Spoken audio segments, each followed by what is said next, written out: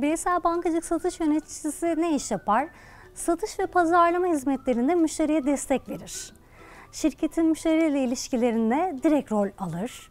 Ee, Bankanın sahip olduğu ürün ve hizmetleri satılması için e, çalışmalar yapar. Denizbank Beylerbeyi Şubesi'ndeki görevim e, kurumumun temsilcisiyim yani ön yüzüyüm. Kurumumu te- tercih eden müşterilere doğrudan benimle muhatap olurlar.